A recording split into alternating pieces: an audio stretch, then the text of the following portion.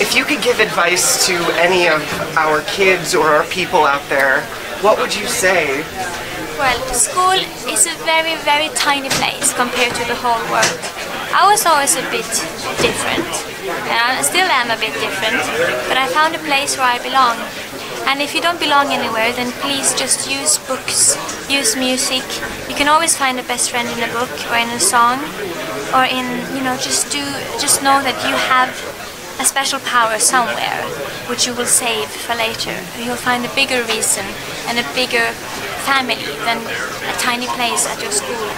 Uh, so that was what kept me going, because I knew that I was going, you know, to a big, big world, and you can. There are always people who will, who will accept us for who we are. You just have to find them first.